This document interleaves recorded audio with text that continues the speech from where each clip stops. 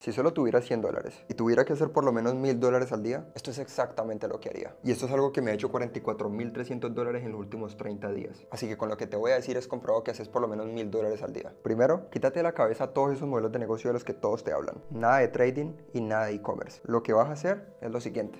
Vas a empezar una marca personal o una agencia, el que más te guste. ¿Y para qué? Para vender servicios a negocios o a personas. Segundo, vas a aprender las habilidades más importantes que todo negocio, sea físico o digital, necesitan. Crear tráfico y convertir ese tráfico a ventas. ¿Y cómo lo vas a hacer?